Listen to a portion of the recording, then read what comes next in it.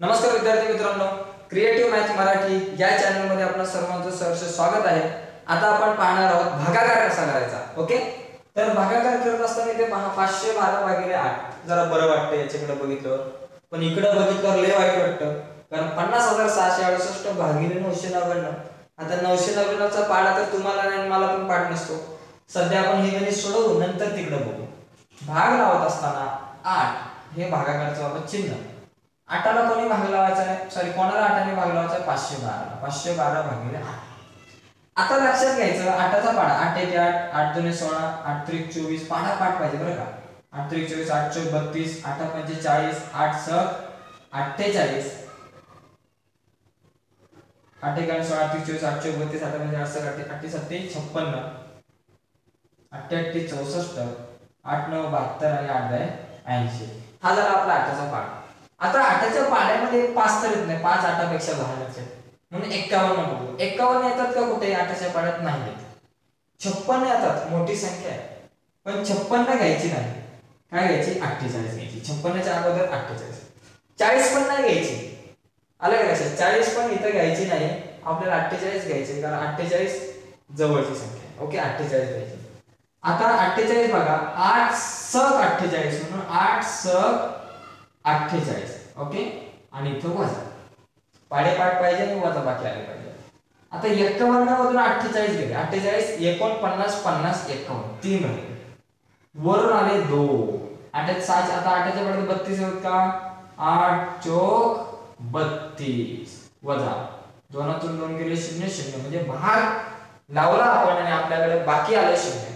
तर अशा प्रकारे आपण भागाकार करू शकतो. हा बाकी शून्य भागाकार चौसष्ट. हे आहे आपल्याकडे पाचशे बारा भाजक आणि आठ काय झाला? बाकी आहे. बघा आणि याला म्हणतात भागाकार. माहिती पाहिजे बरं का? हा आपला बाकी. बाकी आले शून्य. इथं भाज्य. भाजी नाही भाज्य आणि आपलं भाजक. भाजक. भाजप कमळाचा भाजप नाही बरं का? आता इथं नव्याण्णवने भाग लावायचा. हे झालं हे जरा सोपं वाटतंय. आता नव्याण्णव ने कोणाला भाग लावायचा आपल्याला? पन्नास सहाशे अठ्ठ्याऐंशी. आता नव्याण्णवचा पाढा पाठ पाहिजे.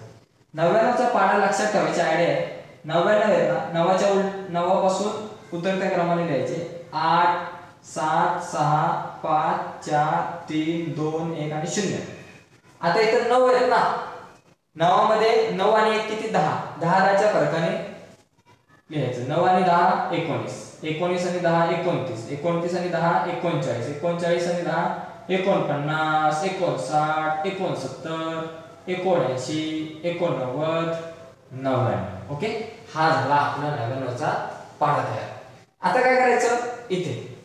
पन्नास नव्याण्णवपेक्षा लहान आहे म्हणून पाचशे सहा. आता नव्याण्णवच्या पाड्यात पाचशे सहा येतात का कुठं? नाही. पाचशे चौऱ्याण्णव येतात.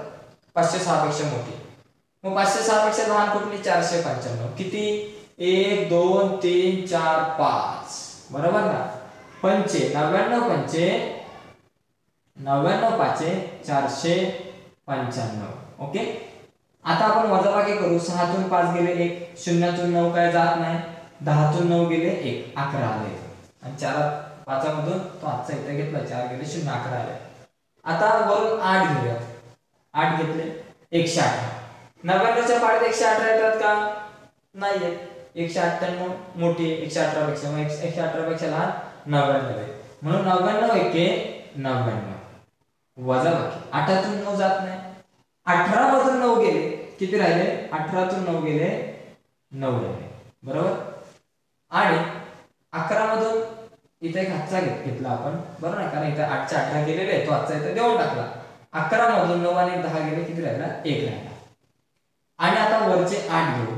एकशे अठरा आता एकशे अठ्ठ्याण्णव नव्याण्णवच्या पाड्यात काय येतात एकशे नव्याण्णव दुने एकशे अठ्ठ्याण्णव आणि वजा शून्य शून्य शून्य. तर अशा प्रकारे जर पाडा मोठा असेल तर तयार करायचा आणि मग भागाकार करायचा. ओके? सोपं आहे. पुन्हा एकदा व्हिडिओ पहा. ओके? आता आपण काय करू? आणखी काही एक्झाम्पल्स पाहूया जर पॉइंटमध्ये जर काही गणित असतील तर. बघा जर आपल्याकडे असं गणित आलं. सहा पॉइंट पंचवीस भागिले पाच. पाचाने सहा पॉईंट पंचवीस ला भाग करायचा आहे. ओके मग अशा टायमाला काही काळजी करायची गरज नाहीये. पाचाने भाग लावायचा आहे. कोणाला? सहा पॉईंट पंचवीस ला. पॉईंट आला तर काय करायचं? सहा. पाचच्या पाड्यात सहा येतात का? बघा. पाच एक पाच पाच दोन दहा पाच त्रिक पंधरा पाच एक वीस पाच पाच पंचवीस पाच सात तीस पाच सात पस्तीस पाच आठ चाळीस पंचेचाळीस आणि इतर पन्नास. पाचाच्या पाड्यात दहा मोठी संख्या आहे. म्हणून आपण पाच घेणार. पाच एके पाच. सहातून पाच गेले एक. आता वरून दोन घ्यायचे. पण दोनाच्या अगोदर पॉइंट आहे. मग हा जो पॉइंट आहे तो वर घेऊ आणि दोन खाली घेऊ. आता बारा. पाच एके पाच. पाच दोन्ही दहा. पाच गुणे दहा. बारातून दहा गेले दोन. वरून आले पाच. आता पाचा पाचा पंचवीस. पंचवीसातून पंचवीस गेले शून्य. तर अशा प्रकारे आपण काय करू शकतो?